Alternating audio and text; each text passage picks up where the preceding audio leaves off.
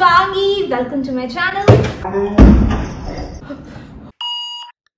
hi guys it's Shivangi welcome to my channel first of all happy Independence Day guys अभी तक आप लोगों ने नोटिस कर ही लिया होगा कि आज का सेटअप थोड़ा डिफरेंट है। I mean the background has change अभी तक का जो सेटअप था आप लोगों को वो सेटअप बहुत पसंद आया। Thank you so much but वो थोड़ा टेम्प्रेरी था सो आई थॉट जैसे जैसे चैनल ग्रो होगा अब थोड़ा परमानेंट सेटअप की तरफ़ बढ़ते हैं। आने वाले वीडियोस में आप थोड़े बहुत चेंजेस देखते रहेंगे। This is not the final one but yes ये अब स्टार्ट हो चुका है सेटअप चेंज होना। Coming back to this video so आप में से काफ़ी लोग काफ़ी ज़्यादा टाइम से रिक्वेस्ट करे थे एक ऑयल पेस्टर से रिलेटेड वीडियो बनाने के लिए। So I thought this is the best time to make a video on topic so yes here I am and जैसा कि आप लोगों ने मेरा ऑलरेडी ऑरेंज कलर का बॉक्स देख ही रखा है मेरी आर्ट सप्लाईज वाली वीडियो में। So yes I am gonna use the same oil pastels so they are like 15 to 20 years old and you know what the fun fact is that मेरे को 10 से 15 साल हो चुके हैं। 10 टू 15 years हो चुके हैं। मैंने ऑयल पेस्टर्स से रिलेटेड कुछ भी आर्ट किया नहीं है। So this is going to be a challenging thing for me as well because अभी तक जो भी मैं आर्ट से रिलेटेड वीडियोस बना रही थी। That was more towards detailing and you know painting से रिलेटेड बट ऑयल पेस्टर्स के साथ एक प्रॉब्लम है बहुत बड़ी। इसमें हम ज़्यादा डिटेलिंग शो नहीं कर सकते हैं। Keeping that constraint with this let's see हमारा आर्ट पीस कैसा बनता है एंड में जाके। ऑल्सो गाइज़ वीडियो के एंड पे मैं आपके कुछ बहुत इंटरेस्टिंग क्वेश्चन देने वाली हूँ इस बार so watch till the end and if you are new to this channel don't forget to like share and subscribe to my channel and don't forget to press the bell icon जिससे जब भी मेरी कोई new video आएगी आपको तुरंत पता चलेगा। So yes let's start the video Okay guys, so I thought of giving you all a closer look of how my orange box looks like and this is what it looks like guys. So इसमें जितने भी ये colors है ये बहुत ज़्यादा पुराने हैं आपको इनको देखकर ही लग रहा होगा like ये seriously बाबा आदम के ज़माने के लग रहे हैं and the fun part is that we are gonna use the same colors to make something beautiful. So without any further ado, let's get started. Okay guys, so now I'm gonna test these colors अपने एक पुराने sketchbook पे so that I get an idea कि कौन सा color सच में में कौन सा कलर दे रहा है? Because I have seen a trend यहाँ पे जो कलर जैसा कलर है वो वैसा दिखता नहीं है as you can see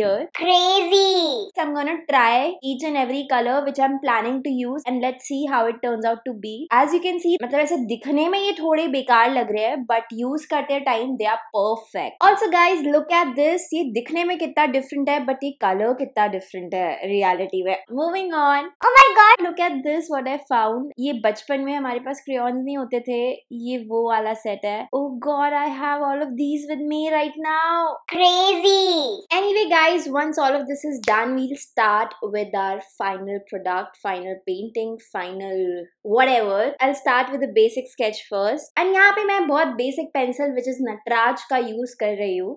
So this time I thought मैं सच में एकदम अच्छे से गुड गर्ल की तरह अच्छे से स्केच करूँगी so that you guys get an idea and आप में से काफ़ी लोग कमेंट भी करते हैं कि मैंने अच्छे से स्केच करके नहीं दिखाया। So here you go and do let me know if this was helpful और not once that is done I start with my colouring सच बताओ क्या? I am a bit nervous right now but let see I am very hopeful and may I have this feeling हम कुछ अच्छा कर ही लेंगे। So yes coming back to this we'll start with a very light colour so अभी तक क्या करते थे हम? एब्स्ट्रैक्ट पेंटिंग्स में एक्रेलिक कलर्स में, हम हमेशा डार्क टोन से भी स्टार्ट करें मैटर नहीं करता था।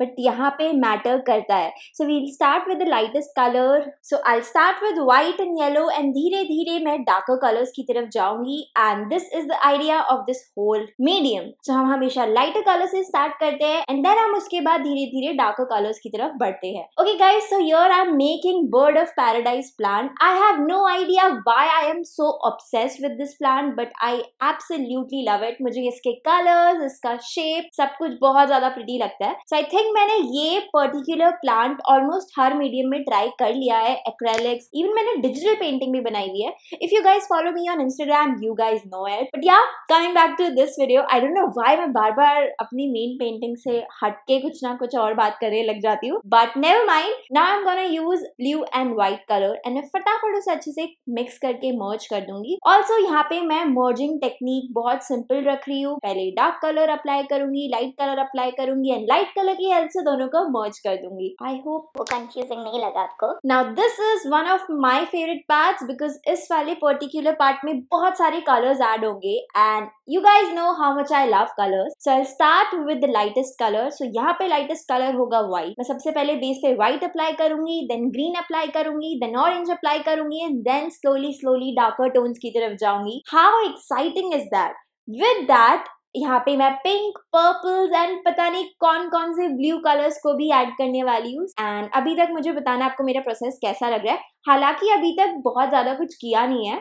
But you get an idea right with that I am giving you a zoom in version as well कि देखो पास से कैसा लगता है ऑयल पेस्टर्स के साथ कलर करना। Of course oil pastels are way too way too way too messy and even जब भी मैं कलर कर रही हूँ तो इतने सारे ऐसे यू you नो know, वो ड्रॉप्स इसके गिर रहे हैं। एंड वो पूरे टेबल पे कलर्स का I don't know what is happening but yeah I have to clean a lot of stuff coming back to this video all over again my main part is done my bird of paradise plant is completed अब मैं flower तो हो चुका है अब मैं background कर रही हूँ। सो बैकग्राउंड ऑफकोर्स डार्क हो जिससे हमारा फ्लावर और भी ज़्यादा फोकस में आए इसीलिए मैं सबसे पहले बैकग्राउंड में क्विकली कलर कर दूँगी फिल कर दूँगी। I start with lighter tones then yes this is what it looks like it is all green so as you can see here there is no differentiation between the plant and the flower which is really sad so don't worry अभी आगे जाके हम वो differentiation और strong करते चले जाएँगे। With the help of darker colours darker shades darker everything dark dark dark मैं इतना डार्क डार्क डार्क इसलिए करी क्योंकि मैं डायरेक्टली ब्लैक कलर को यूज़ कर रही हूँ। But yes this is how it work मैंने आपको स्टार्टिंग में बोला था कि हम हमेशा ऑयल पेस्टर्स में लाइट कलर्स के साथ ही स्टार्ट करते हैं। Like that is a mandatory thing so the process is very simple जो भी मैंने बैकग्राउंड में फूल, पत्ते, पौधे बना रखे हैं, मैं उन सबको एक डार्कर टोन की तरफ़ लेके जाऊँगी। So that there is more contrast between the main object and the background yes I am using different tints and tones of green colour blue colour black colour and या this is all अ मिश्रण अ गिच pitch of all the dark colours and जरूरी नहीं है कि हम background में detailing show करें so yes as you can see अब मैं थोड़ा और डिटेल्स ऐड कर रही हूँ अपने बर्ड ऑफ पैराडाइज प्लांट पे and I mean flower pay and this looks absolutely stunning. The main reason why I picked up this flower was because of its color. Do let me know in the comment section below what do you think about this process and as you can see अब धीरे धीरे हमारी जो final artwork है वो shape दे रहा है हमारी डार्कर टोन्स की वजह से and this is looking beautiful guys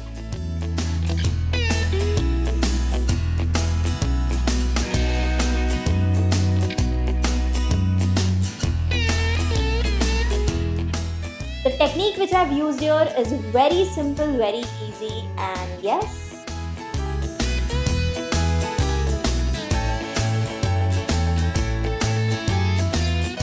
Okay guys, so this is the final art piece and I absolutely love it.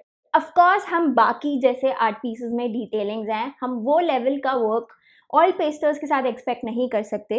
But yeah I would say जब मैं 10-15 साल पहले ऑयल पेस्टर्स को यूज़ करती थी उसमें एंड आज जो मैंने यूज़ किया उसमें काफ़ी ज़्यादा डिफरेंस है. As an I improved a lot so yes oil pesters को इतने टाइम बाद यूज़ करना was exciting for me as well do let me know in the comment section below what do you think about this art piece So as I promised in the beginning of the video that I will be taking some of your questions, some of your interesting questions. So here I am and मैं फटाफट वो questions read out करती हूँ and जल्दी से answer देती हूँ Okay, so the question is मैं एक हफ़्ते में कितनी बार पेंट करती हूँ? कितने दिन पेंट करती हूँ? I do not paint daily of course मेरे पास उतना टाइम नहीं है। ना ही ये मेरा फुल टाइम जॉब है। सो आई वुड से हफ़्ते में मैं दो दिन पेंट करती हूँ सैटरडे संडे या एक दिन मैं पेंट करती हूँ विच इज़ सैटरडे एंड या उससे ज़्यादा मुझे टाइम भी नहीं मिलता इवन इफ़ अगर मेरे को मन करता है तो। The second question is what is the hardest part of creating a painting? Oh my god. so अगर आप इस क्वेश्चन को एकदम स्टार्टिंग में पूछते जब मैंने ड्राइंग करना स्टार्ट किया था तो मैं बोलूँगी मुझे सारी चीज़ें डिफ़िकल्ट लगती है। बट अब चीज़ें थोड़ी डिफरेंट हो चुकी है। आप में से काफ़ी लोग ये भी क्वेश्चन पूछते हैं कि मैं इन आइडियाज़ के साथ कैसे आती हूँ कि मुझे नेक्स्ट वीक क्या चीज़ क्रिएट करनी है किस टॉपिक पे वीडियो क्रिएट करनी है। So I have few things in my mind and मैं नोट्स बनाती रहती हूँ अपने फ़ोन पे ही कि इस वीक मुझे ये करना है या ये ये चीज़ें मेरे को आने वाले टाइम पे फ्यूचर में करनी है।